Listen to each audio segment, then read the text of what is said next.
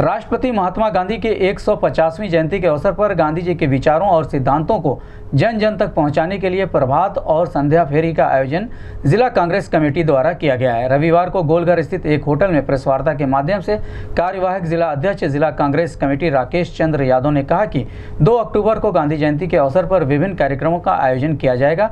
गांधी जयंती के दिन नागरिकों के बीच में जिला कांग्रेस कमेटी के पदाधिकारी जाएँगे और गांधी जी के विचारों, सिद्धांतों पर चलने के लिए शपथ दिलाएँगे। गोरखनाथ स्थित कुष्ठ आश्रम में वृक्षारोपण का भी कार्यक्रम किया जाएगा। इस अवसर पर सदस्य all India Congress committee, Sharadendu Pandey, मंडल प्रभारी ईश्वर चंद शुक्ला, गुड्डू तिवारी, अनिल सोनकर, विंदेश्वरी प्रसाद, राजू सिंह सहित अन्य पदाधिकारी मौजूद रहे। इस संबंध में गोरखपुर न्यूज़ संवाददाता से बात करते हुए राकेश चंद्र यादव ने कहा। बताएँगे ना ये ज़्यादा ज़रूरी है, क्योंकि एक लोगों से ये लगता है कि हमें इसका कोई बात होगी कि ऐसा नहीं, ऐसा देख लीजिएगा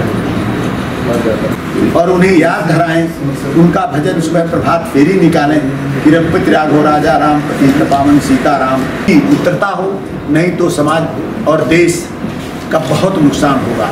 और 2 अक्टूबर को हम घूम करके एक शपथ लेंगे गांधी के विचारों को। हमारे लोकनाथ कुछ आश्रम में आए थे। तो इन जगहों पर यहाँ गोरखपुर में है ये। उन जगहों पर हम लोग जाएँगे 2 अक्टूबर को। राष्ट्रपिता महात्मा गांधी के 150वें जन्मदिन के अवसर पर हम 2 अक्टूबर को महात्मा गांधी जी के पास एक महात्मा जी गांधी जी के सिद्धांतों को हम शपथ ले, सिद्धांतों का शपथ लेंगे। वृक्षारोपण हम करेंगे उस दिन। हम अपने सारे ब्लॉकों पर ब्लॉक अध्यक्षों को वृक्ष देंगे।